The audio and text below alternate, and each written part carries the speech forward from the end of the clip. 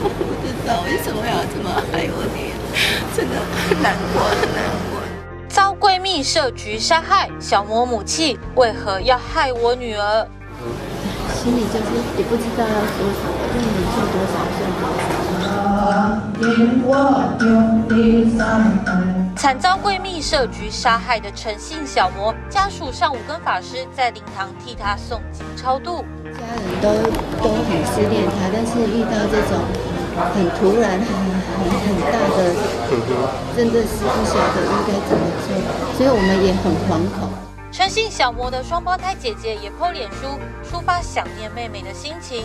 陈姓小魔的后事采佛教仪式，出殡时间尚未敲定。突发中心宜兰报道。